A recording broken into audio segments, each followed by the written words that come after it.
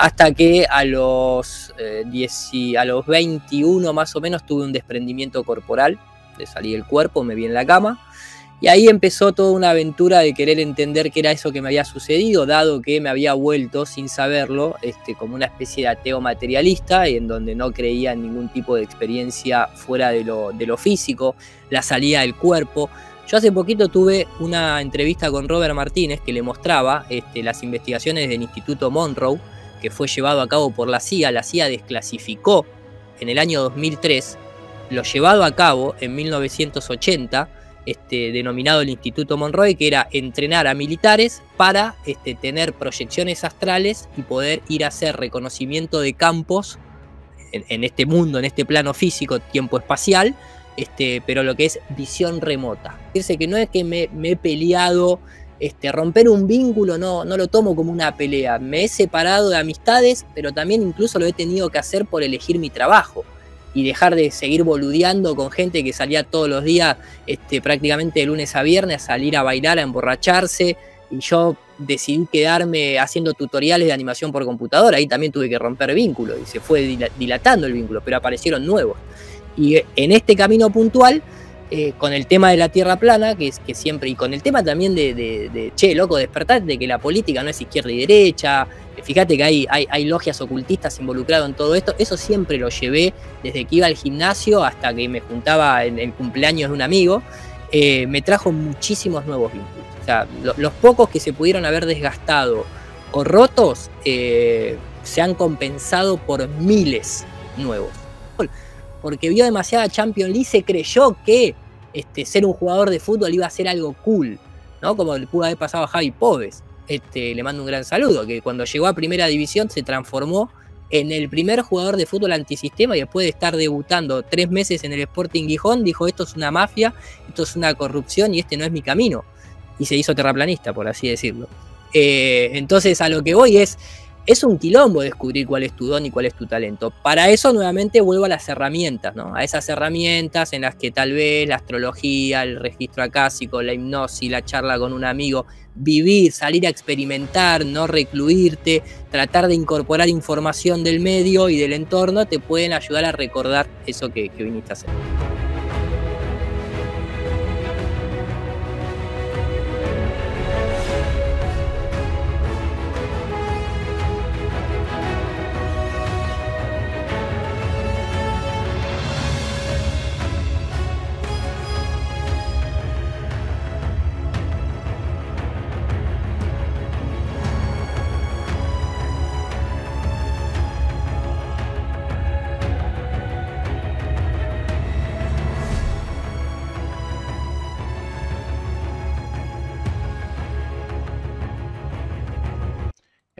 Buenas noches, bienvenidos a todos al canal de los sueños, donde absolutamente todos los sueños se pueden, se deben y se van a hacer realidad. Estamos en un, vivimos en un mundo de oscuridad, eh, llevamos, el ser humano lleva secuestrado eh, decenas, quizás, iba a decir decenas de años, pero a lo mejor son decenas de miles de años, porque la historia también nos la han secuestrado, eh, con lo cual llevamos muchos años con que no sabemos, no sabemos qué es un ser humano, a qué venimos, cuál es nuestro objetivo, en la vida, nos han mentido absolutamente en todo, también en la forma de la Tierra, también en los eh, albores del mundo, eh, en todas las líneas. Eh, llevamos dos años que algunos parece que han despertado, otros más tarde, otros no despertarán nunca, pero el que lleva muchos años despierto y que nos viene a aflorar un poquito de luz en este mundo de oscuridad es nuestro queridísimo Irulanducci Nur para todos. Buenas noches, ¿cómo estás? ¿Qué haces, Alberto? Querido, qué poético arrancaste, ¿eh? Me gustó, sobre todo porque está muy iluminada tu, habitación y hasta con un color muy celeste, muy del domo ahí del cielo. Y plano encima, porque no está abovedado ese techo, ¿eh? Lo veo plano. Depende de si lo que, la cámara que uses. Eh, si eso es Buen dato. Si usas una Nikon, quizás sí. Quizás sí, quizás sí. Che, muchas gracias por la invitación. Perdón públicamente por la otra vez que no se pudo dar la entrevista, un problemita técnico. la NASA intervino, la NASA intervino y me, hackeó, me hackeó el, directo, pero acá estamos, acá estamos. Me estás diciendo, Iru Landuche, que la NASA eh, no puede ir a la Luna eh, con la tecnología adecuada, eh, si va a Marte pero sí puede hackearte a ti. Bueno, eh, aparentemente estaba en complicidad con Bill Gates y el, y el antivirus. O sea, viste que desde que falleció McAfee, mm. este, es como que Karpesky es muy ruso y como que, viste, acá en Occidente no se consume tanto. Y Avast está vendido, viste. Entonces me quedé sin, me quedé sin, sin firewall, maestro. Y nada, evidentemente penetró. Penetró la NASA, que no tiene tecnología para hacerlo, pero yo tampoco soy un hacker como vos. Entonces me cagó la NASA. Te cagó a vos en realidad, ¿eh? mirá qué expresión argentina. Te cagó a vos porque vos sos el, el que tenía ahí. Mirá si hubiesen dicho cuando aterrizaban en la luna de hiper, de hiper halcón has landing, en lugar del halcón alunizado, ¿no? Total, el, no te preocupes, que dentro de poco, como todo esto va a petar, quedaremos en una cueva y ahí no habrá problema de cobertura. Eh, Iru Landucci, Nur para todos. Eh, cuéntanos un poquito presentación por si hay gente que no te conoce, quizás algún marciano. Eh, ¿Quién es eh, Irulanducci para todo lo que quieras contar a nivel personal, profesional? Y después ya entramos en materia y profundizamos en esta oscuridad. Dale, mira, yo creo que mm, seguramente lo puedo tomar, este, me puedo eh, em, empezar a presentar desde un montón de, lados, pero inicialmente creo que me siento identificado con muchos de los que estarán viendo este directo, que también es parte de tu audiencia, incluso de vos mismo. Alguien que hoy tengo 41 años, pero desde los 8 años siempre eh, fui cuestionando eh, a lo que podría denominarse en aquel entonces y ahora al principio autoridad para mí a los ocho años cuestionar eh, dentro de mi propio círculo de linaje, dentro de mi familia, eh, el hecho de por qué tengo que ir a tomar la comunión, este, de alguna forma, ¿no? ya empezaba un pequeño Landucci a romper los huevos. Em, podría decirse, ¿no? Este, pero la tomé, la tomé, me, me comunié ¿eh? me uní, me uní con algo común, me uní con algo común. Después ya no me dio ni siquiera para lo que, lo que se denomina la confirmación, porque pareciera ser que el sistema eclesiástico necesita que vos le confirmes, ¿no? Una vez que te unís, después tenés que renovar y tenés que confirmar que estás unido con ellos. A eso no. Exactamente, ahí ya no llegué. Eh, y empecé una vida de lo que yo pensaba eh, científica en el contexto de, no pertenecer a ningún dogma ni a ninguna creencia. Eso me llevó eh, al mundo de los efectos visuales. Eh, comencé a estudiar por este, de autodidacta a los 14 años animación por computadora, en una época donde no había internet, no había tutoriales. Este, me la tenía que arreglar ahí aprendiendo el inglés de solo, comprándome libros y demás hasta que a los, eh, a los 21 más o menos tuve un desprendimiento corporal, de salir del cuerpo, me vi en la cama, y ahí empezó toda una aventura de querer entender qué era eso que me había sucedido, dado que me había vuelto sin saberlo, este, como una especie de ateo materialista, en donde no creía en ningún tipo de experiencia fuera de lo, de lo físico, más allá de que todas las noches soñaba, eso lo tomaba como ¿viste? Algo que está ahí en el, software con el que venimos. Em, y esa experiencia corporal me marcó bastante eh, y empecé a meterme en el mundo de la metafísica. Eh, de la mano, podría decirse, de comprarme la Metafísica 4 en 1 de Connie Méndez, una venezolana del siglo XIX, em, que después con el tiempo eh, cuando también me, puse a, investigar eso, estaba dentro de los círculos teosóficos de Rudolf Steiner, de Madame Blavatsky, ¿no? todo ese tipo de escuelas de aquella época. Pero ahí me, ahí me, me, gustó lo que leí, a diferencia de una cuestión tal vez religiosa, donde te tratan de sostener bajo la culpa, el pecado, siempre mirando a, alguien externo, en esa metafísica eh, me hacían mirar hacia adentro y me daban el poder de lo que uno pensaba, eh, este, sintonizado con la emoción, era lo que uno podía manifestar y atraer. Me dio como una herramienta de fabricación de realidad. Y eh, comencé ese camino hasta que en el 2007 un golpe de dura realidad, este, que fue ver a Saigest, el documental Saigest, me empezó a hacer interesarme por algo que siempre lo había visto pero nunca lo había investigado, que era el billete de un dólar, la pirámide, el ojo. Eh, nunca pensé que los gobiernos podían, yo había visto las Torres Gemelas en el 2001 en vivo prácticamente, el segundo avión, no el primero, y de golpe me empecé a enterar ese tipo de, lo que era la palabra este, autoatentado de bandera falsa. Yo toda mi vida fui un nerd detrás de una computadora estudiando animación por computadora, ¿no? Este, o sea, no tenía nada que ver con la historia ni nada. Y ya para el 2012, después de fumarme muchas horas de, información, decidí, va, yo no lo decidí, creo que lo decidió Letter, en una reunión aleatoria, lo cual no creo que haya sido aleatoria, sino estaba sincronizada por algo. Eh, había un productor de radio y me invitó a hacer una columna radial en la ciudad de La Plata, la X5 se llamaba la radio, una radio muy pequeña, que si llegaba a 20 metros de la antena donde transmitía era mucho, pero estaba internet. Estaba internet y empecé a transmitir por Facebook este, nunca fui de subir vida privada a, las redes sociales, pero este, sí información. Y ahí empezaron a entrar gente de España, de Colombia. Hacía una especie de informativo tipo una mezcla entre JL, Vicente Fuentes, Iker Jiménez, que eran los que seguía yo en ese momento, y alguna que otra cosa del habla inglesa, hasta que apareció en el 2015 buscando algo de información para presentar en la radio esa, que ya hacía dos años y medio que estaba, eh, la Tierra plana. Y ahí se me cayó este, bastante, bastante la, propia realidad, ¿no? Este, se podría decir simbólicamente, se me corrió el velo que yo pensé que tenía corrido y quedé totalmente desnudo ante una, eh, hasta ante las evidencias y la propia realidad de que este mundo va mucho más allá de lo que yo pensaba en términos de, este, como vos dijiste en la presentación, ¿no? De oscuridad, poder así decirlo. Pero siempre hay luz, este, hay que, es cuestión de saber dónde mirar y bueno, la Tierra plana comenzó a, a introducirme detrás de todo esto y terminé con NUR para todos y hoy acá con usted, maestro.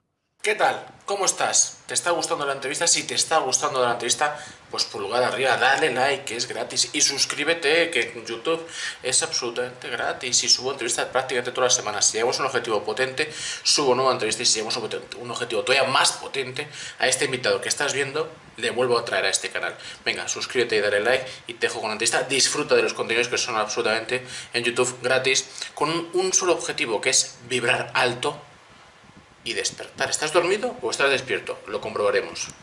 El... Yo juego partido de Champion, eh, me gusta jugar fuerte, juego finales o semifinales, entonces vamos a profundizar. Eh, yo no soy un canal sensacionalista, ni esto es la televisión para intentar eh, denigrar al ser humano. Aquí se trata de albergar, de entender, de trabajar el pensamiento crítico, de que cada uno halle su propia verdad con un único objetivo, al menos desde mi punto de vista, de ser feliz. Eh, cuando uno es eh, esclavo del sistema, pues es feliz, no lo sé. En cualquier caso, has hablado, Ilulanducci, sobre conceptos muy interesantes. Vamos a partir de ciertas bases, porque si no, no podemos entender las siguientes. Em, para ti, ¿cuál es el propósito del ser humano? Uy. Eh, evidentemente, de golpe yo estaba sentado acá y en este momento, si lo tuviese a mano, me pondría el fondo de, la, justamente el Camp Nou y, estoy ahí. Faltan cinco minutos para terminar y estamos dos a uno abajo. Eh, el propósito del ser humano, wow. Yo creo que es una pregunta eh, muy típica, eh, obviamente, usted no se ha explayado como este, creador de preguntas, sino que está tomando una pregunta que está ahí en el inconsciente colectivo, pero que claro, es muy difícil de contestar y es válido en el momento que usted la puso al principio. Em, yo creo que esa respuesta tiene tantas, eh, eh, justamente, eh, esa respuesta tiene tantas respuestas, aunque me repite a mí mismo, por, por cada ser humano viene encarnado a este plano. Yo creo que el propósito de cada uno, entiendo que no es lo mismo que el del ser humano. Vamos a tomar el ser humano como el conjunto. Vos dijiste, ¿cuál es el propósito de Lulanducci? No, ¿cuál es el propósito del ser humano? Vivir sería la expresión más fácil, ¿no? Este, porque hay mucha gente que vive teniéndole miedo a la muerte, pero también hay gente que le tiene miedo a la propia vida. Eh, y obviamente el sistema también está hecho, como vos dijiste, ¿no? para generar una esclavitud en un contexto amplio, pero en el micro siempre, aunque sean mini dependencias, ¿no? Te hace siempre estar dependiente de, de ciertas cuestiones, sean económicas, religiosas, políticas, etc. Hay como eh, pareciera ser como que hay un propósito de control y tal vez si uno toma eso dice, bueno, tal vez el propósito del ser humano es salir del control y pasar a controlarse a sí mismo, eh, tratar de romper o de entender este, qué está haciendo aquí, en este lugar aquí, ahora, en esta existencia, podríamos añadir en este plano de existencia, qué es esta realidad, qué es la naturaleza, este, qué es lo que me pasa a mí internamente, quién soy yo, quiénes somos como raza, quiénes somos como especie, eh, qué es este lugar a donde estoy. Y por eso para nosotros, también te la contesto así, el modelo heliocéntrico fue uno de los mejores sistemas para quitarnos todas esas preguntas este, y darnos ya las respuestas, incluso a preguntas que ni siquiera este, nos corresponden. Eh, entonces, me parece que desde ese lado eh, el ser humano como tal eh, tendría que por lo menos retomar la iniciativa de volver a preguntarse eso mismo que vos me acabas de hacer, porque lamentablemente la pregunta que vos me hiciste, que dije que está en el inconsciente colectivo, también está en el olvido colectivo hubo algo que nos quitó la potestad y la propiedad de hacernos esa pregunta y ya nos dio esas respuestas que nos iban a condicionar, ¿no? El Irun Landucci, quien tiene magia, no necesita trucos.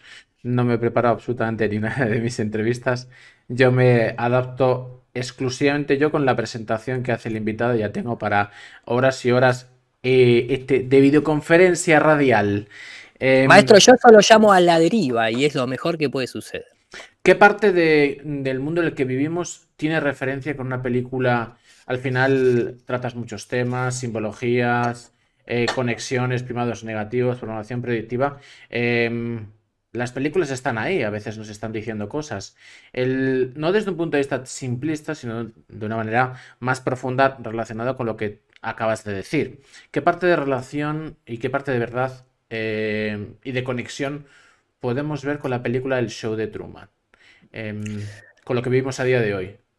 Porque hablas eh, de tierra, hablas de éter, hablas de salir, o lo has expresado así, de ese control, eh, liberarse. Eh, es, el, es el mensaje, es el camino de Jim Carrey cuando está el show de Truman. Truman Show, creo que es en Latinoamérica. Em, precisamente eso, ¿no? Eh, hay todo, está ordenado para controlarlo, para vivir una, vida o venderle una vida mucho más cómoda, más sencilla, si nos lo hacen ver. Yo busco analogías con lo que tú acabas de decir. Y él, pese a todo eso, pese a que tiene una vida cómoda, hay algo interno que le dice, no es este mi camino, no es este mi mundo. Eh, y rompe con ello, pese a que todo lo que está alrededor le dice que debe estar ahí y además se lo pone difícil que pueda romper ese paradigma. ¿Qué parte de realidad de esa película hay con la vida en la que vivimos a día de hoy? Desde el punto de vista más estricto y literal, si pudiera ser algo por el estilo, hasta el punto de vista más metafísico, metafórico. Mira, me parece, bueno, obviamente el título, ¿no? Este, eh, pareciera que nosotros estamos dentro de un reality show gigantesco. ¿Por qué? Porque en realidad son todas eh, creencias eh, y, paradigmas creados por, por, el ser humano, en el cual no hay ninguna verdad absoluta ni en la política, ni en la ciencia que conocemos, ni en la economía, ni en la religión, por citar los cuatro paradigmas fundamentales, ¿no? Este, desde uno puede entender que el dinero es una cuestión de fe, sea, hasta los propios números matemáticos, nadie camina con una raíz cuadrada, ni hablar del paradigma político, si hay reality shows, creo que lo más, lo que supera para mí, esto es personal, lo que más supera tal vez al show de la política es el show espacial. O sea, si hay un gran Truman Show, es el de la NASA y las agencias espaciales y todas las payasadas que suceden en el espacio y todo eso, diría una canción de, en una frase poética de, una canción de la renga, aunque el final termine, este, dice, aunque el planeta termine en un círculo y el final es de donde partí y todo ese motor es para devastar tu inconsciente. Yo creo que ese gran show que se está armando, este, que a, veces me gusta leer las palabras al revés y show al revés, parece que uno diría wash, que es lavar. ¿no? Es para lavarnos este, la cabeza de, eh, en el sentido literal y, meternos sus propios, sus propios programas, sus propios shows justamente. Eh, la película de Truman Show incluso me, me, gusta porque Jim Carrey quien es alguien que ha utilizado siempre la propiedad metafísica de la visualización y la manifestación. De hecho, en una entrevista donde se burla de dónde se encuentra la Estación Internacional Espacial y se dibuja, se levanta la remera y se dibuja con el pezón y hace un triángulo y dice, y acá está la Estación Internacional Espacial, el conductor se ríe Este, y luego él mismo dice, sí, sí, esto es como el hombre este que supuestamente pisó la luna. El conductor, viste, le dice, pero ¿qué, no crees en eso? Hablando de historia de pescadores, ¿no? Porque en Argentina también se, se, dice que los que van a pescar solos te vienen y te dicen, pesqué así, ¿viste? Y nadie lo conoce, al, bicho que pescó. No, no, pero se me escapó, lo tiré al agua de vuelta, lo comí en el camino, etc. Eh, Jim Carrey, ahí mismo en esa entrevista, el, conductor le dice, ¿es verdad que vos eh, querías cobrar un millón de dólares por película y lo dibujaste en un papel? Y dice, sí, lo tengo de hecho acá en la billetera, lo saca, saca un papel dibujado por él y él ahí se pone a hablar de la técnica de visualización. Ese Truman Show, ese Jim Carrey, incluso después, hasta hace no muy poquito, eh, salió con una remera de un astronauta eh, y haciendo el símbolo de la pirámide y empezando a, a burlar un poco de toda la cuestión Illuminati. Dejó de trabajar. Ese Jim Carrey se ve que no se quedó contento con participar de Truman Show y hizo un cortometraje él mismo en el que es como un vagabundo en un mundo totalmente post-apocalíptico, caminando por el desierto con un carrito de supermercado, recolectando cosas del suelo, y se encuentra con un hombre de color, y el hombre de color lo mira y le dice, eh, ayúdame que estoy perdido, y Jim Carrey, teniendo un gorro con el símbolo de la NASA, busca en su carrito de supermercado y saca un snow globe, o sea, saca un, plato, este, así, saca esto Saca uno de estos, pero en lugar de con el mapa de Gleason, le da el que agitas así y hay nieve adentro. Ese Jim Carrey que no hace mucho en una nota de, así de premios de, cine se puso a hablar de que, de que nosotros este, somos personajes ficticios dentro de una Matrix. Eh, yo creo que lo marcó a Jim Carrey participar de Truman Show eh, en su vida. Eh, creo que pudo haber accedido a las películas, los guiones y demás, este, sobre todo proveniente de Hollywood, no están hechos para cualquiera, ni cualquiera tiene el privilegio de, protagonizarlos.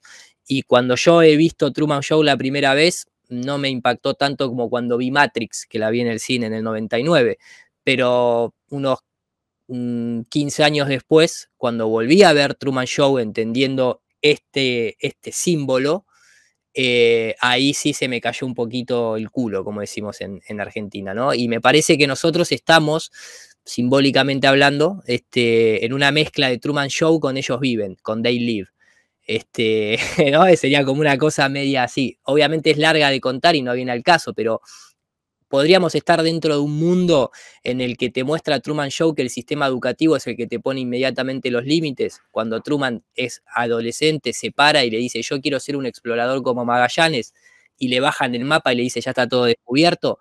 Eso no lo, sinceramente, si vos no te metiste en el, no si sos terraplanista, si no te metiste en el tema de tierra plana, no lo entendés de la misma manera. Como otras películas tenés que estar, ¿no? Metido ahí en el en el rubro. Este, no vas a entender el, bote que choca contra la pared si no estás en la tierra plana. Sí lo vas a entender como alguien que ¿no? eligió atravesar el límite y llegó hasta el borde de su realidad y le puede, le puede meter una cuestión filosófica total, pero tal vez no encontrás la parte literal.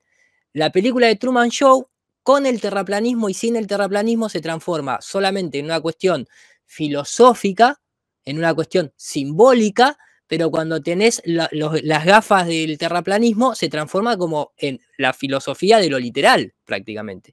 E incluso te diría que no sé si todos los seres humanos este, quieren la libertad ¿eh? y se quieren ir del sistema. Yo creo que muchos, por cuestiones de miedo, no sé si abren la puerta de Truman. Creo que, creo que a pesar de que puedan saber de que hay más o menos, este, decidirían quedarse por, por cuestiones de seguridad, ¿viste? Cómo funciona a veces la comunidad te come al individuo. Mm, como eres bastante inteligente, te voy a hacer eh, dos, tres preguntas en una. Eh, es un poquito eh, explayada la misma. Em, quisiera saber, Iru, cuáles son los dones y los talentos del ser humano y si se puede ser feliz en la Matrix. continúa la pregunta. Lo digo porque em, pues jamás pensé que iba a hacerte una entrevista haciendo analogías de películas. Pero bueno, vamos con ello. El Matrix, Neo, ¿no? Neo despierta eh, de la Matrix. eh, y, se, bueno, se pone a hablar con los tripulantes, muchos de ellos, eh, de hecho uno de ellos, cable o no sé, o cifra, no sé, uno de estos. Que, Cypher, Cypher, que no es... Claro, cifra, pero viste que es como de... Sí, sí, dale, sí, por favor y, él no está contento. ¿Por qué no elegí la otra pastilla? Él no es feliz. Bueno, al principio, oye, cuando despiertas de la matriz, Neo se siente obnubilado, dice, oye, tengo cables, quizás no soy feliz, quizás era feliz en mi mundo eh, de sistema programado, ¿no? Dentro de la matriz. El...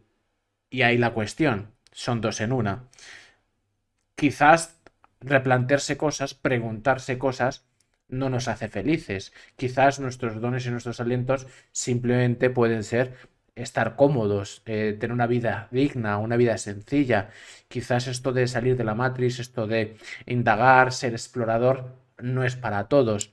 Pero quizás sí, no lo sé, por eso te hago la pregunta y ahora la redondeo. Eh, ¿Se puede ser feliz dentro y fuera de la matriz? hay que salir, cuáles son nuestros dones y nuestros talentos. Quizás si tú me dices que al final de este túnel de oscuridad hay una luz y esa luz es que voy a vibrar más alto, que voy a ser más feliz, que me voy a desarrollar mucho más, que voy a descubrir habilidades que me van a tener una plenitud. Vivimos en un mundo donde el humano se siente vacío. Se siente vacío con el sistema. Eh, llegado a los extremos más opuestos. Por eso traigo invitados que nos hagan pensar porque tenemos récord, y esto sí es real, esto sí, esto es tan tangible. No sé si la Tierra es plana, triangular o hace eh, eh, formas giratorias, no lo sé. Lo que sí sé es que tenemos índices de suicidios por las nubes, y es porque la gente no es feliz, porque la gente no es plena, porque la gente es vacía. Entonces, quizás tenemos que preguntarnos más cosas, entendernos, para poder hallar otras verdades, y para poder buscar lo que para mí es más importante, que es la felicidad de cada uno. Se puede ser feliz dentro y fuera de la matriz, nuestros dones nuestros talentos nurparatoros, y Lulanducci.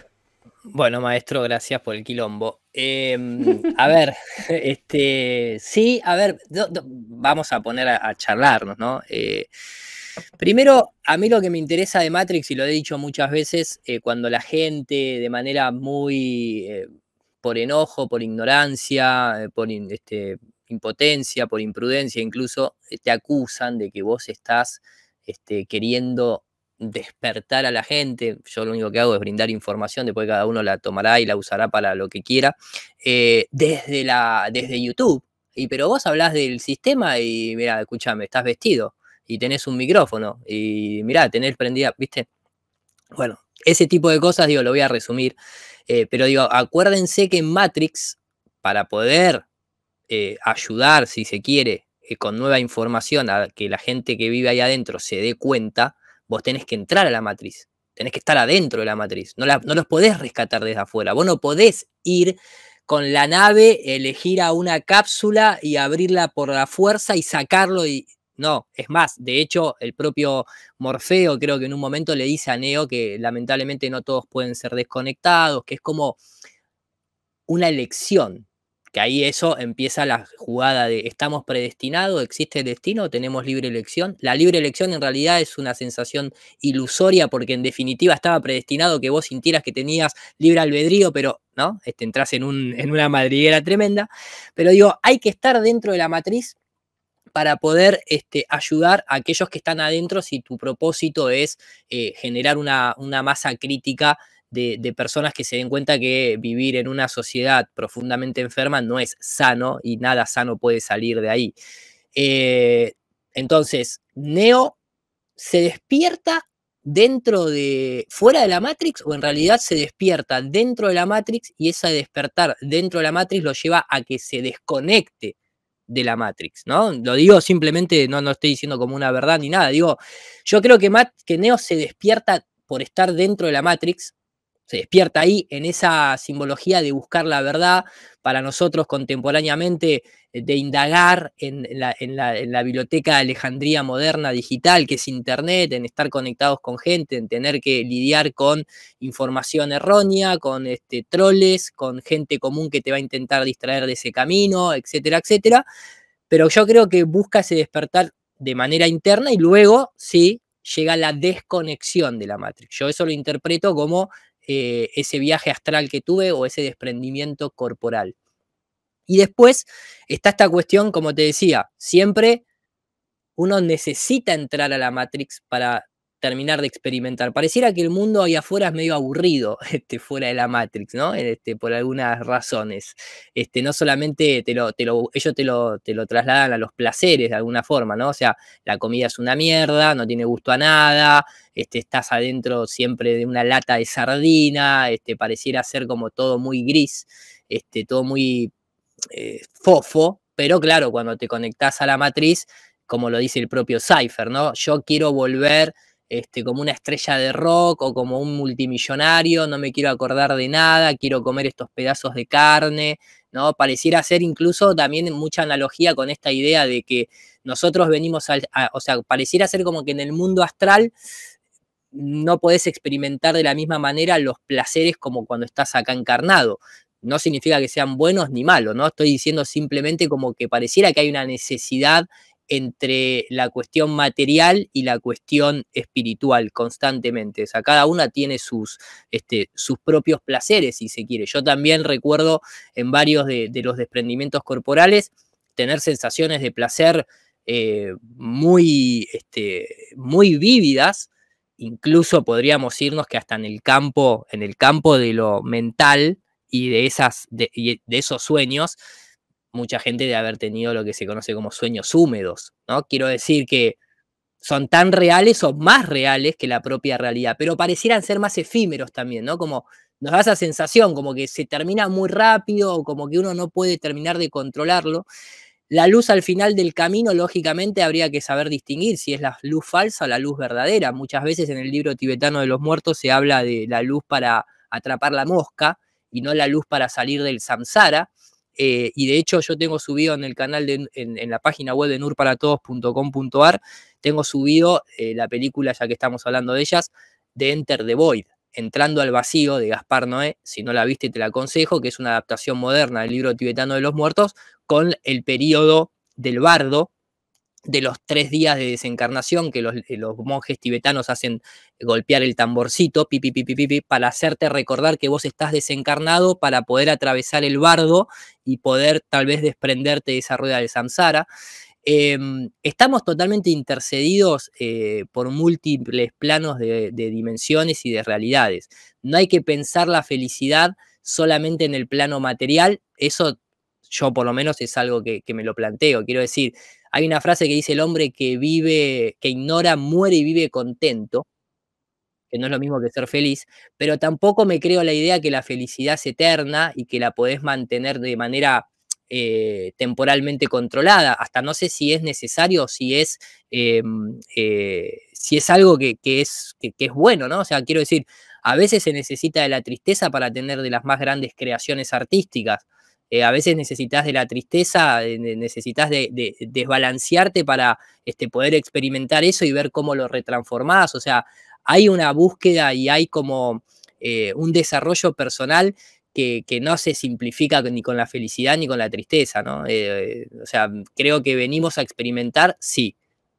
La felicidad, sí pero yo no la quiero como moneda de cambio, la felicidad eterna. No, sé si quiero estar feliz todo el tiempo. Quiero escuchar una canción de radio y sentir melancolía.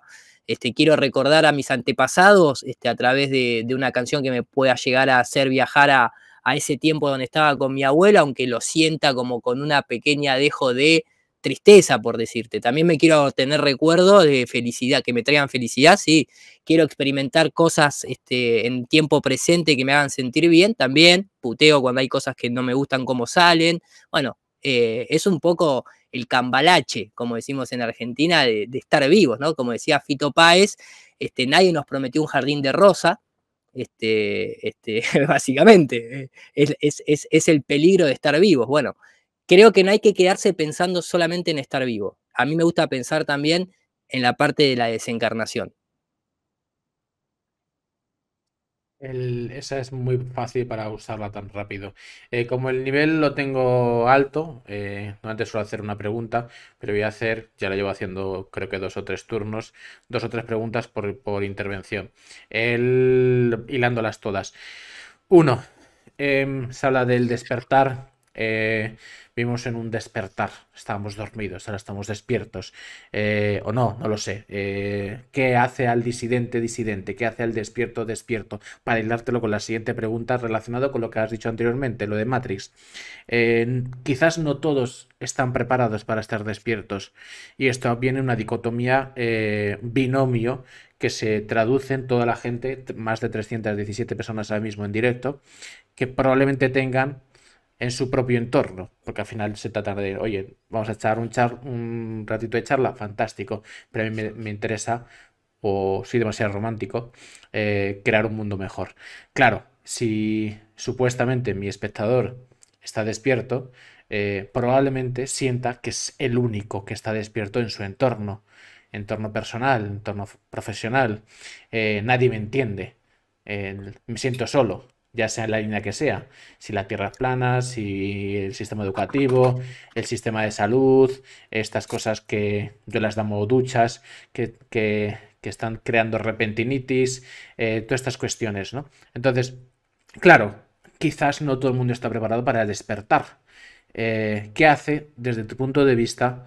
Em, para mí creo que es algo muy bonito, realmente, pero es duro a la vez porque te tienes que abnegar, te tienes que dividir, tienes que alejarte quizás, no lo sé, eh, de esas personas dormidas que son tus amigos, que son tu familia, que es un entorno que has vivido durante 20 años, 30 años o 40. Eh, y es duro romper eso. Es verdad que vas a conectar con otras personas, 300 ahora mismo, fantástico. Pero, Irulanducci, ¿qué hace al disidente disidente o al despierto despierto? Y si todo el mundo está preparado para despertar. Bueno, yo creo que el que hace, o sea, hay, varios, lo, podríamos este, subdividir, iterar en, varias este, capas, ¿no? Pero lo primero es la información. O sea, lo, único que te puede hacer el despierto, al que, despierta el despierto es información. Esa información puede venir, obviamente, puede venir en forma eh, clásica, eh, información clásica, sea libros, videos, puede venir en una charla con un amigo que te parecía aleatoria, que un día te cruzaste por la calle y te comentó algo, o puede venir ya por cuestiones de intuición, puede venir por cuestiones de sincronicidad, como yo considero que fue aquel desprendimiento corporal, que yo ni estaba pensando en eso, y que al poco tiempo apareció en la casa de un tío mío, un libro de metafísica, que era la primera vez que iba a la casa de mi tío, porque es un tío de segundo, eh, cosas por el estilo, ¿no? Que yo considero que este, van apareciendo ahí en esa búsqueda eh, innata que nosotros tenemos. Nuestro gran problema, eh, yo creo que es recordar qué estamos haciendo acá, cómo venimos acá. Déjame que te lo mejore la pregunta, porque son, eran tres. La tercera es, em, si no, eh, si el disidente, el despierto, nace o se hace. Te escuché hacerle esa pregunta, creo que a Rafa Currao, y, me parece que justamente ahí, ahí está el tema. a veces, tal vez, en una primera vida, te vas a tener que hacer. En una reencarnación te vas a tener que perfeccionar, básicamente. Y entonces te vuelvo a unir con lo que estaba diciendo. El tema es recordar. De hecho, eso, es una temática que, en muchas películas, libros, este, poesías, inclusive hay una canción eh, muy bonita que se la dediqué a mi novia cuando la conocí, porque sentí eso, que se llama Antes y Después, de una banda argentina que habla justamente de, este, la, reencarnación. Em, pero creo que eh, yo no sé si algunos dicen, ojo, el no recordar eh, es para que vos no te, trau no te vuelvas loco ni bien volvés a, reencarnar, porque si te estás acordando de, los fracasos, de las frustraciones, de los malos momentos que tuviste en una vida pasada, este, te podrías atormentar ni bien estás iniciando en esta. De hecho, hace poquito con un amigo que estuvo acá, este profesor de, de artes marciales em, de Chikun. Eh, él me decía que a los 20, mm, no, 30 y pico de años, este, en una meditación que estaba haciendo, tuvo el recuerdo de, eh, cómo había fallecido la vida anterior, que había sido de forma violenta, este, y se estaba y, quería volver rápido porque sintió como que había desperdiciado este, su vida. Dice que nada, le vino ese sentimiento en, la meditación, lo entiendo perfectamente y por eso vuelvo a la película Enter the Void o al libro tibetano de los muertos. Entonces el despierto lo hace la información. Después esa información la tenés que incorporar, la tenés que procesar, te vas a tener que replantear si, si estás en la etapa de perfeccionarte porque vos ya venías con una carga de, otra información pasada en la cual te sentís que estás alineado en el camino que estás recorriendo, hacia dónde estás yendo. Este, Steve Jobs lo decía muy bien en esa charla que da en Oxford, este, en Harvard, perdón, hablando de conectar los puntos hacia atrás. Y conectar los puntos hacia atrás no es solamente dentro de esta vida. Eh, te puedes ir tan para atrás que puedes hacer regresiones, que puedes hacerte apertura de, registros acásicos, que puedes consultar a los astros, este, como bien también dice una canción del mismo autor que escribió antes y después, que se llama Astros. Yo eso lo aprendí y lo puse en práctica a partir de que me empecé a meter con la metafísica y la Tierra plana me terminó de dar un sentido este, no solamente lógico, sino también muy práctico de en esa búsqueda del, recordar utilizar este tipo de técnicas como la astrología, los registros acásicos, la hipnosis, la meditación, la salida del cuerpo. Yo hace poquito tuve una entrevista con Robert Martínez que le mostraba este, las investigaciones del Instituto Monroe que fue llevado a cabo por la CIA. La CIA desclasificó en el año 2003 lo llevado a cabo en 1980 este, denominado el Instituto Monroe, que era entrenar a militares para este, tener proyecciones astrales y poder ir a hacer reconocimiento de campos en, este mundo, en este plano físico, tiempo espacial, este, pero lo que es visión remota. ¿sí? Eso es un documento oficial, declarado y desclasificado de la CIA, no es una teoría de la conspiración ni nada por el estilo. Incluso tengo el informe original del PDF con los cositos tachados y todo subido a mi página web. Y la conclusión del militar a cargo de eso, la conclusión final es, si Estados Unidos va a emplear esta técnica este, como un arma militar, tienen que saber, este, por experiencias ya este, recopiladas por, los soldados que se prestaron al, eh, al proyecto, que tienen que estar dispuestos a interactuar, así lo describe él, con entidades inteligentes no corpóreas. Y cualquier, cualquier ser humano que haya tenido experiencias astrales o desprendimientos corporales o viajes astrales, sabrá de lo que estamos hablando, el de hecho de decir, hay veces que vos estás ahí y, vos sentís que hay presencias inteligentes que no están corpóreas, porque no están en el plano físico. Entonces, todo eso, digo, une, eh, no puedes estar despierto sin irte a dormir. Eso es lo loco, ¿me entendés? Porque vos para acceder al plano astral te tenés que ir a dormir. Pero no en el sentido de estoy dormido, pero es estoy despierto, pero tengo que usar mi software y mi hardware, que para eso tengo que focalizarme, concentrarme, hipnotizarme.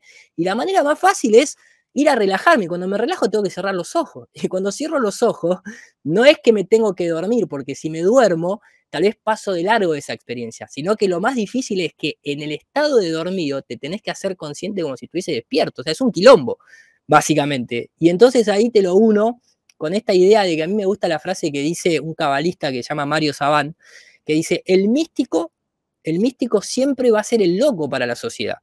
O sea, siempre vas a estar loco para la sociedad común, porque la sociedad común este, lo que busca es la protección de la manada, y entonces para estar protegido por la manada, este, va a encajar dentro de esos preconceptos, y esos preconceptos son participar de ciertos experimentos como los que hemos tenido en el 2020, se va a hacer eso. Este, si tengo que estar cuerdo porque tengo que coincidir con una dictadura en el momento y época que está sucediendo, entonces lo voy a hacer porque tengo que estar dentro de la manada y aquel que viene a tratar de despertarte, considerado podría decirse un místico, tiene que saber que va a ser, este, va a tener que transitar la locura, la locura de los otros, pero no va a tener que ser cómplice de esa locura, va a tener que estar muy firme, va a tener que estar con la espada y la, y la bandera bien plantada para poder, es como, ¿sabes lo que es? Yo lo interpreto como atravesar el bardo pero estando encarnado. Yo no sé si vos conocés el concepto del bardo, que en Argentina es una palabra que se usa mucho cuando hay un bullicio generalizado en el que te sentís mareado, que te dicen esto es un bardo, pero también es ese bardo este, budista en el cual vos tenés que, cuando estás desencarnado, tenés la luz falsa y tenés el bardo. Y el bardo son tus experiencias en esta vida encarnada que te van a intentar asustar para que vos vuelvas, ¿no? Esa es la historia puntualmente incluso que se cuenta en Enter the Void. Y en la vida nosotros presentes tenemos ese bardo de manera constante. De manera constante va a haber situaciones que nos van a intentar hacer volver a esa luz falsa, por así decirlo. Y entonces, en ese camino, vas a tener que decidir de romper vínculos con esa familia, con esas amistades, con esos eh, compañeros de trabajo que tal vez ahora que vos empezaste a iniciarte en un camino distinto al de la manada y ellos no te quieren acompañar o no les interesa tu información porque tienen miedo, porque están inseguros eh, y vas a tener que romper los vínculos. Lo bueno que tiene el consuelo de romper los vínculos es que se generan nuevos. Y te podría decir que a mí lo que me ha pasado es que este, mete, no, no me he peleado, porque yo soy mucho de esa frase, viste, de el deseo, es del, el, deseo es del humano, pero el cómo es del universo.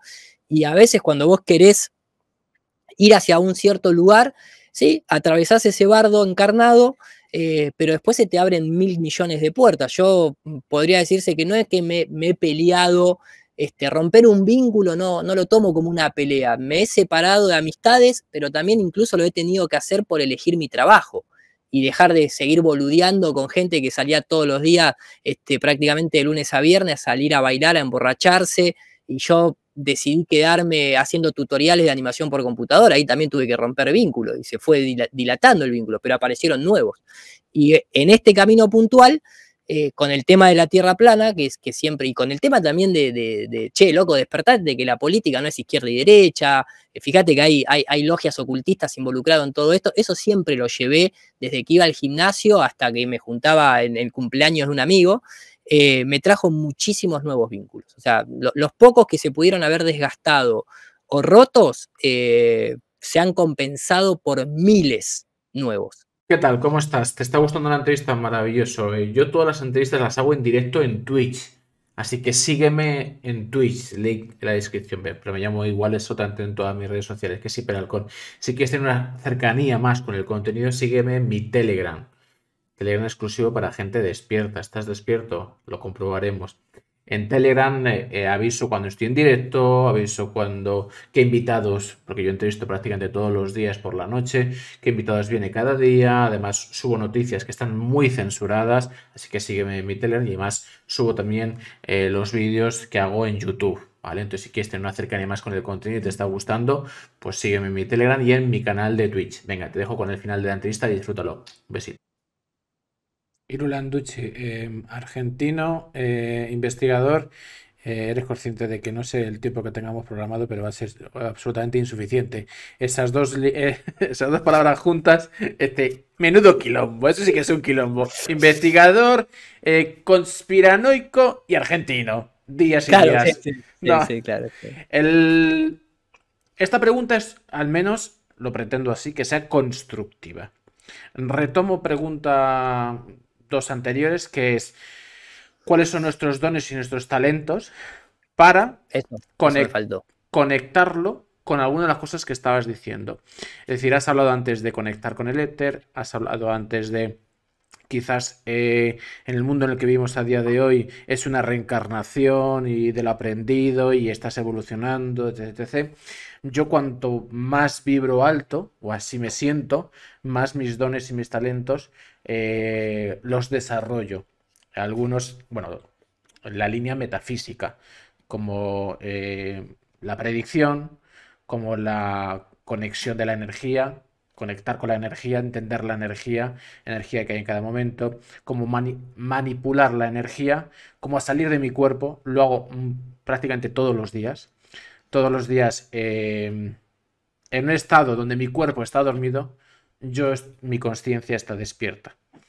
Em, esto va por niveles, ¿no? Eh, pero bueno, lo trabajo de forma natural. Y esto me viene solo, ¿eh? Es decir, esto es interesante porque al fin y al cabo hablamos antes de, yo es que soy, repito, muy romántico, quiero pensar que, que, la gente viene a esta vida a ser feliz, a llenarse, a construir un mundo mejor, a sentirse pleno, a realizar su misión de la vida. Y claro, si estás secuestrado, pues poca misión puedes llevar a cabo, ¿no? Entonces, de eso se trata un poquito, que nos conectes esto que has explicado en la primera pregunta del éter, que es eso del éter. Quizás cuando dormimos tenemos sueños, ¿no? Esos sueños a veces son demasiado reales, parece que son de una vida pasada. Eh, son recuerdos, esos sueños, eh, son premoniciones. ¿Cuáles son nuestros dones y nuestros talentos? Hablamos un poquito de ese, de ese éter. Em, y si lo puedes, seguramente que sí, englobar todo, hacerlo circular para que al fin y al cabo no se trata simplemente de una conversación de eh, la Tierra es plana, te lo demuestro y, qué. ¿Sabes? Yo lo que necesito es pues vale, no me interesa, es decir, o sea, a mí me interesa el debate, eh, ahora, luego entraremos ahí, pero más me interesa eh, construir desde la reflexión. Si te va a aportar algo que la Tierra sea plana, porque eres, eres un investigador, eres un explorador y lo tienes ahí encarcelado, pues evidentemente lo necesitas. Pero por, por hablar, por hablar, la demagogia es, demasiado barata a día de hoy como para perdernos en ella. Háblanos un poquito de todo esto, Irulanducci, eh, para poder conectar nuestros dones y nuestros talentos, el éter, los sueños, reencarnaciones, eh, evolución, etc, etc. Bueno, a ver, eh, el tema de los dones y los talentos, eh, yo creo que justamente eh, tal vez el, don es aquella propiedad con la que venimos este, aprendidos de otras experiencias que hemos tenido encarnados, tal vez, y, el, tal, y el talento es aquello que mm, podemos empezar a incorporar de manera nueva en, esta vida, ¿no? O sea, me puedo hacer talentoso, a pesar que a veces me gusta separar la palabra para decir talento, ¿no? A veces el talento estás lento, ¿no? Este, pero nada, eso es un juego de palabras medio que no viene al caso. Eh, pero quiero decir, no, digo que sea correcto, eh, pero simplemente lo separaría de esa forma, ¿no? El don pareciera ser aquello que vos venís a desarrollar, o sea, como que estás, ahí sí yo podría decir, estás predestinado y si no estás entendiendo el don al que vos viniste, quedándote lento. O sea, vas a terminar este, teniendo que hacer un nuevo talento para, suplir lo que viniste a hacer y no estás haciendo.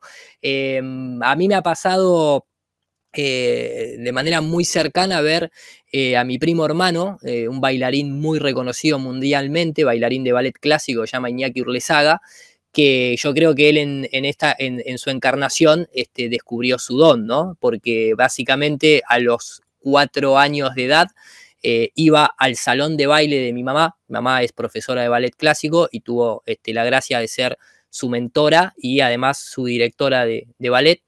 Y mi primo yendo a bailar a los cuatro años, que era muy raro, esto lo puedo contar porque lo escuchaba de mi, madre, dado que este, mi, primo es más grande que yo, casi unos 10 años, ¿no? Pero este, era verdad que después yo lo vi un poquito más de grande con lo mismo, pero iba y nada, se ponía a bailar y nadie le había explicado nada y, le salían las cosas como sorprendidamente, ¿no? Como diciendo, eh, o sea, no, no, puede ser que un niño eh, a los cuatro años de edad, que, prácticamente no, no, entiende lo que es 10 centímetros, le salgan cosas y palabras este, relacionadas con este arte que es inexplicable. Eh, y terminó siendo el mejor bailarín del mundo durante unos 10 años. terminó bailando en, en, grandes compañías de ballet, siendo el primer bailarín, este, y nada, un genio total, un tipo este, talentosísimo, o con un don que lo transformó en un talento, ¿no? Básicamente. Y claro, y ahí a mí me hace mucho, eh, se me encaja mucho eh, la idea esta de la, de, la reencarnación, de la elegir a dónde vas a, en qué, en qué linaje vas a entrar, este, viendo a todas las parejas teniendo sexo, como describe el, el libro tibetano de los muertos, y decís, voy a entrar acá, porque acá esto me va a traer esto, aquello, lo otro, ¿no? Pero después el tema es, claro, vos entrás en un sistema, en, una realidad este, tan, tan manejada, que nuevamente el tema es recordar lo que viniste a hacer. Eh, recordar este, lo que viniste a desarrollar, recordar tal vez el don que te propusiste, eh, ¿no? Eh, entonces el sistema te va a intentar desorientar constantemente no porque esté conspirando contra vos, no está conspirando contra Irula no, no, es el sistema. El sistema busca control, el sistema busca esclavos, el sistema busca peones y no tiene piedad, no le importa este, quién sos vos, básicamente. El tema de recordar es tu problema, no, no, no es el mío, ¿no? Lo podría pensar de esa manera simplemente. Entonces, eh, creo que queda en cada uno este, recordar el don y desarrollar el talento.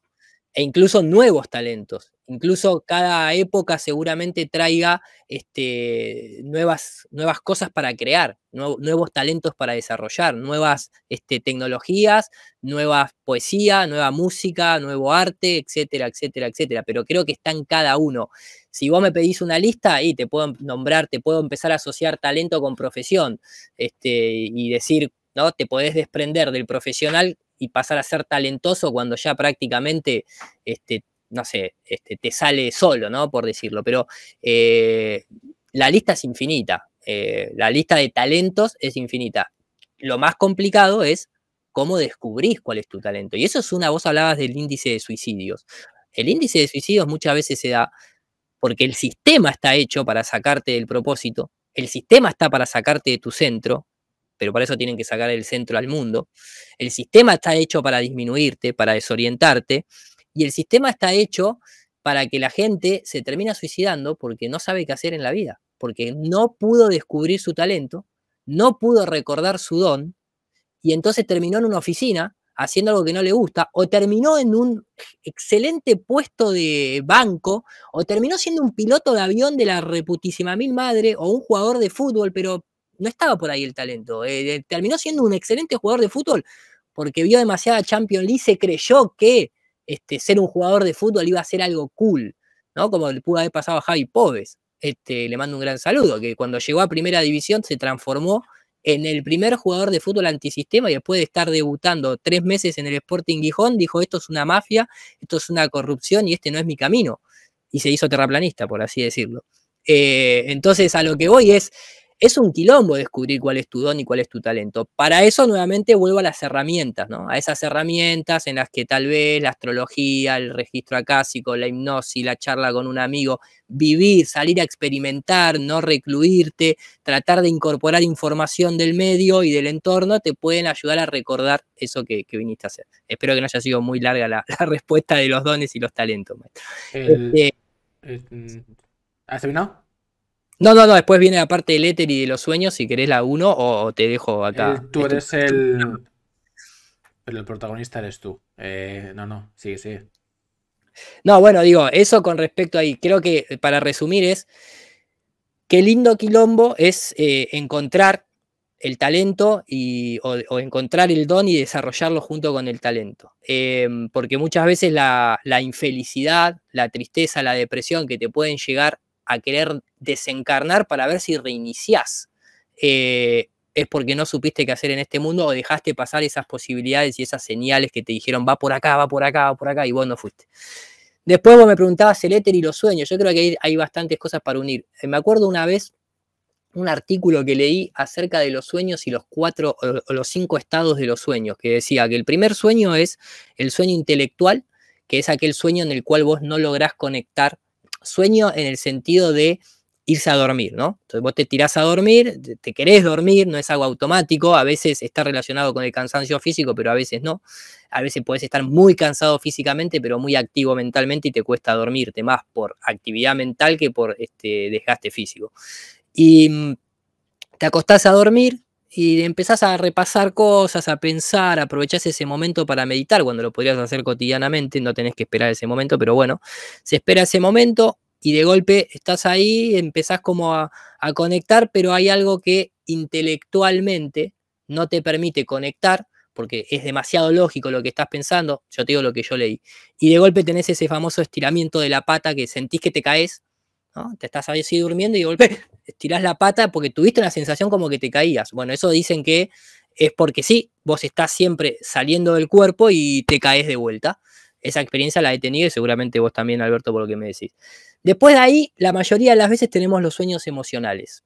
Es cuando ya te conectás, salís a recargarte, este, no te enchufas a ningún lado, pero eh, apareces eh, renovado en muchos casos a pesar de que duermas 15 minutos, a veces dormís 7 horas y te levantás cansado mentalmente, pero digamos, el sueño emocional es aquel que intenta tu conciencia reacomodar experiencias diarias este, de forma emocional. Uy, de golpe estoy soñando, estoy en una fiesta, crece un árbol, el árbol se rompe y esa caída del árbol representa que te habías peleado con tu papá, que representa el árbol genealógico, etcétera, etcétera. Para eso también existen las interpretaciones de los sueños, ¿no? Este, es un buen, eh, es un buen cambalache también ese, ¿no? Em, después tenemos el sueño eh, consciente, algunos le llaman lúcido, yo prefiero llamarle consciente, que es aquel sueño en el que vos te haces consciente de que estás soñando, las primeras veces que tenés esa propiedad, muchas veces querés volar, este, decías volar, a mí me pasaba eso, al principio empezás como tratando de volar desde el plano físico, o sea, tipo, necesito tomar velocidad y empezar a saltar y después te das cuenta con el tiempo que solamente es un deseo, quiero volar y salís volando. No, es, eso en Matrix está perfectamente representado. En Matrix, Neo la primera vez que quiere volar tiene que tomar carrera de la azotea y saltar. Pero después cuando lo controla lo único que hace es tac y sale volando. No tenía que correr a ningún lado, ¿no? Y todo está en el deseo, ¿no? De alguna manera. Em, tenés el sueño ese consciente. A veces te puede pasar el doble sueño consciente, en el que estás soñando, que estás soñando y te das cuenta que estás soñando. Son sensaciones muy, muy extrañas. Me ha pasado una sola vez. Después tenés el sueño premonitorio, aquel sueño que soñás, que algo puede, y de golpe tenés como ese activación en la vida real y, podés evitar que algo suceda o simplemente te recordás que eso lo había soñado.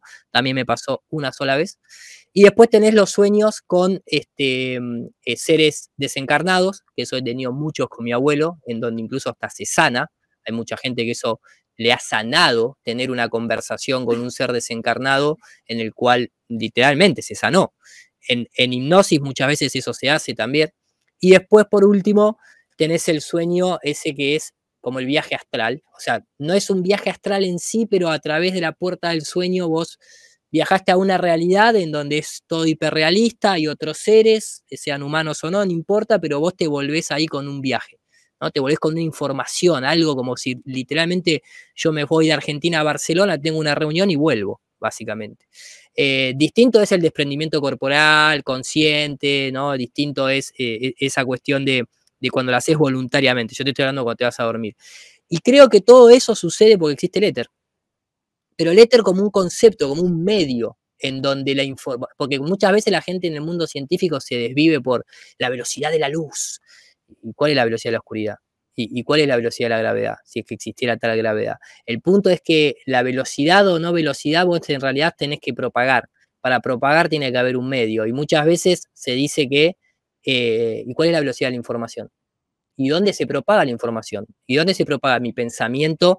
Que si pienso en algo triste me pongo a llorar. O sea, yo pienso algo y me emociona, y esa emoción me puede afectar de una manera positiva o negativa. Sí, viaja por los nervios, todo bien, pero cuando yo quiero recordar y tengo este, este instinto, y yo no, no, no tengo un eje de coordenadas, el pensamiento dónde está, la memoria dónde está. No hay un eje de coordenadas tiempo-espacial, pero efectivamente, pero tal vez hay un medio que soporta la información sin tener partículas. No existe la partícula de información, no existe la partícula del pensamiento, no, existe la partícula del amor. Este, hay como, ¿no? como hardwares que te hacen sentirlo, pero me gusta verlo así. Al éter me gusta verlo como un medio en donde se puede manifestar este, aquello que este, no tiene materia, pero que necesita de un medio para propagarse. Y la palabra éter de alguna manera me hace eh, recordar a lo eterno este, no hace referencia al espacio, pero sí hace referencia a algo temporal, como si estuviese ahí totalmente presente. Hay una charla muy bonita de David Flinch hablando de películas, en donde él separa, dibuja una línea y separa la mente y la materia. Y entonces empieza dentro de la materia, ¿no? La superficie, ahí tomo, agarro esto y esto materia, ¿no? Una superficie.